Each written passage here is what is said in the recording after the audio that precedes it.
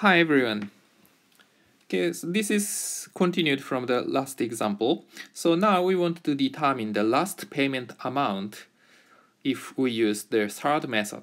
That means if paid at t is equal to 14.207. So remember that the 14 payments are not enough to pay off $10,000. 15 payments are too much. So if we use BA2, that we get 14.207 years. So the last amount is less than $1,000, so we pay off a little early at 14.207, not 15.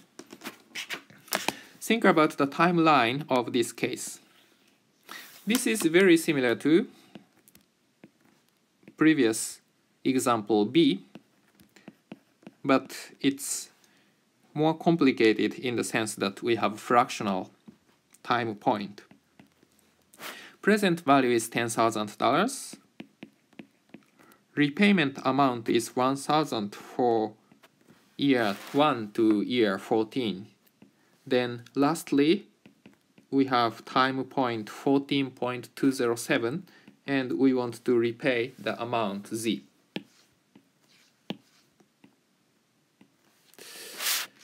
Okay, so what is the z? So again, we think about the present value on both sides. $10,000 is the present value and the payments are $1,000 14 times plus present value of z.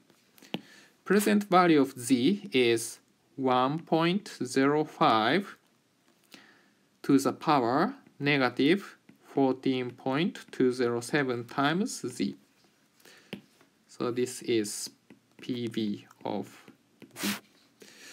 If we simplify this, z is equal to 1.05 to the power 14.207 times $10,000 minus 1,000 A right angle 14 at 5%.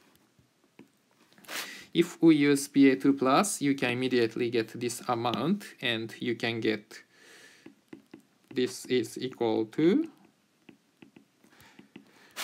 this times 200.68. So this becomes $202.72. So remember that if we paid this amount at T is 15, that, that was $210. So this amount is slightly less than that. We cannot use BA2 cal to calculator because this time point is fractional. Okay, so now you can do quiz 326 4. See you then.